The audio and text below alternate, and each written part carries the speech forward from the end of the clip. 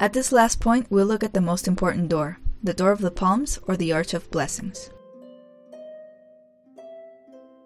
The Door of the Palms, as it is known today, was also known as the Arch of Blessings, whose designation seems to refer, according to Manuel Nieto Cumplido, to the act of blessing the royal banner on the royal coronation of a new monarch.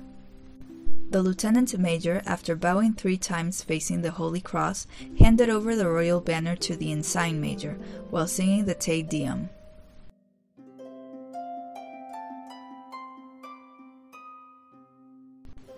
The name Door of the Palms is taken for being the entrance and exit place of the Palm Sunday procession. It is located right in front of the Door of Forgiveness, in the central access of the mosque before the Almanzor extension was made. This central access ends in the sacred niche of the mosque, the mihrab. During the 14th century, two small blind polylobulated arches were built on the sides, one of them hosting the following quote.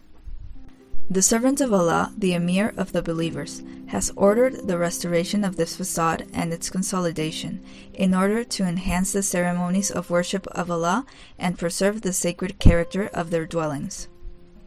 This inscription is due to the reinforcement of the facade that we see made during the age of Abderrahman III.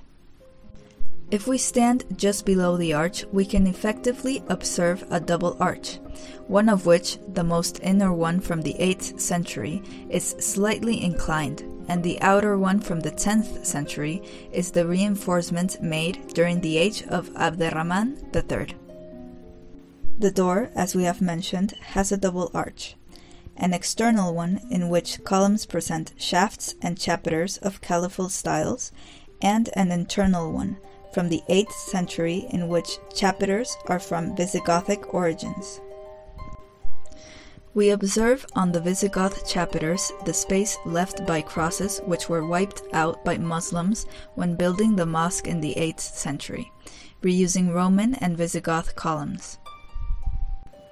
The two columns with Latin quotes that appear on both sides of the external part of the first arch are miliary columns from the Roman age that surfaced in 1533 when the foundations of the cathedral cross were excavated.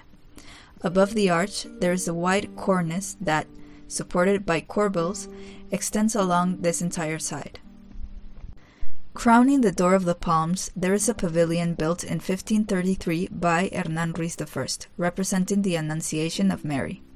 To do this, he placed in the center of two niches crowned by domes and framed between columns, representing the Virgin Mary on the right and the Archangel Saint Gabriel on the left.